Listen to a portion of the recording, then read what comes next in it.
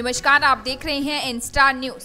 आगामी नगर निगम सहित 2022 के विधानसभा चुनावों की तैयारियों को लेकर सोलन में शिमला संसदीय क्षेत्र के दो दिवसीय प्रशिक्षण कार्यक्रम संपन्न हुआ। समापन अवसर पर स्वास्थ्य मंत्री राजीव सैजल, ऊर्जा मंत्री सुखराम चौधरी पूर्व विस अध्यक्ष एवं नाहन के विधायक डॉक्टर राजीव बिंदल के साथ भाजपा महिला मोर्चा की प्रदेशाध्यक्ष रश्मिधर सूद ने भाग लिया। उनके साथ इस कार्यक्रम में शिमला संसदीय क्षेत्र के पदाधिकारियों ने भाग लिया। अभ्यास वर्ग में भाजपा को किस तरह से और अधिक मज़बूत किया जाए और किस तरह से आगामी चुनावों में एकजुटता से कार्य किया जाए, सहित भाजपा को जल्द ही पेपरलेस पार्टी बनाया जाएगा। इसके बारे में विस्तार से रणनीति तैयार की गई। बात करते हुए स्वास्थ्य मंत्री राजीव सहजल ने बताया कि भाजपा की आगामी रणनीति को तैयार करने सहित अंत्योदय के मूल मंत्र को सार्थक करने के लिए भाजपा द्वारा इस तरह के प्रशिक्षण कार्यक्रम आयोजित किए जाते हैं।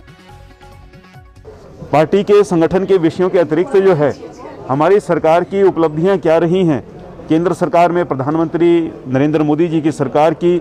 उपलब्धियाँ, यानी अंत्योदय को लेकर के एक जो बहुत ज़बरदस्त प्रयास इस देश के अंदर, जब जब भारतीय जनता पार्टी की सरकार, चाहे वो अटल जी के नेतृत्व में रही हो, अब उसका विराट स्वरूप जो है, वो प्रधानमंत्री नरेंद्र मोदी जी के नेतृत्व में पूरे देश में जिस प्रकार से काम हुए हैं उसकी भी चर्चा जो है वो विस्तार से होती है, क्योंकि भारतीय जनता पार्टी अगर कहीं सरकार बनाती है तो उस सरकार को बनाने का जो उद्देश्य है, वो है अंत्योदय। यानी विकास की दौड़ में सबसे पीछे खड़ा हुआ जो व्यक्ति है, उसको भी आगर, आगे लेकर के आना और इस प्रकार से संपूर्ण समाज को जो है, वो शक्ति संपन्न बनाना, ये भारतीय जनता पार्टी की सरकारों का उद्देश्य होता है और लक्ष्य होता है।